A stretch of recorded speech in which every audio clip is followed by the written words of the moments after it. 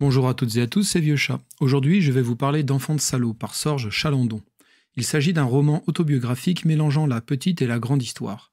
L'auteur a grandi avec les histoires de la Seconde Guerre mondiale que son père lui racontait quand Chalandon était jeune.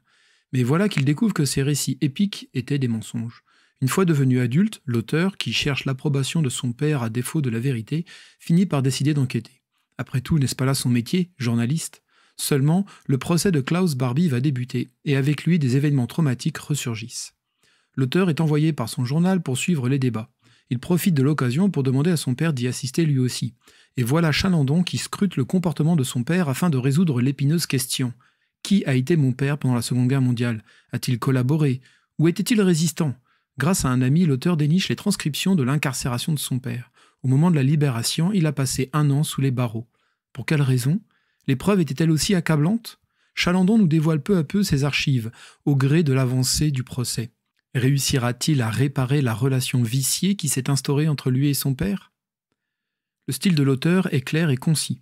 Les phrases s'enchaînent vite, comme un cœur qui bat, le cœur d'un fils qui ne veut pas croire que son père a pu commettre des choses indicibles, le cœur d'un fils qui veut savoir, pour guérir, pour comprendre, il veut lui pardonner, ou ne pas avoir à le faire. Tout au long du livre, les phrases pulsent et assourdissent au gré des découvertes qui semblent se contredire.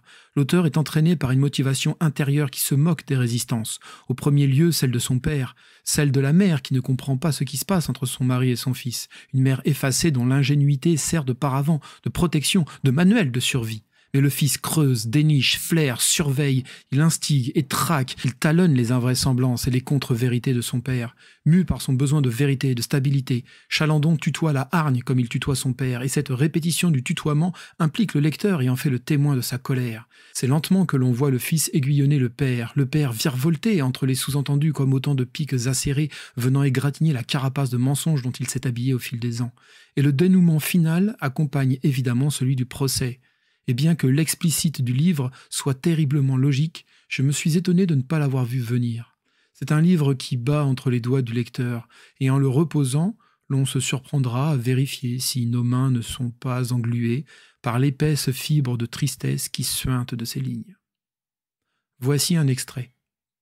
C'était comme si la présence de Klaus Barbie lui avait redonné de la force, de la morgue, de la haine.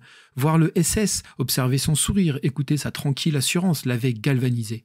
Au premier jour du procès, j'avais espéré qu'il entendrait raison, que le jeune collaborateur de 22 ans, condamné en 1945, se retrouve comme face à ses juges, qu'il mesure le chemin parcouru, et qu'il me parle, qu'il m'entraîne après l'audience pour quelques bières de vérité. Non, papa, tu n'étais pas à Berlin en 1945. Non, tu n'as pas combattu avec le dernier carré du bataillon Charlemagne. Tu étais en tôle, imbécile, moins français que n'importe qui. Et c'est ça que tu aurais pu m'avouer entre deux audiences de ce procès, ça que tu aurais dû me raconter. J'ai besoin de savoir qui tu es pour savoir d'où je viens. Je veux que tu me parles, tu m'entends, je l'exige. Je n'ai plus l'âge de mais j'ai l'âge d'entendre et d'accepter. Cette vérité, tu me la dois.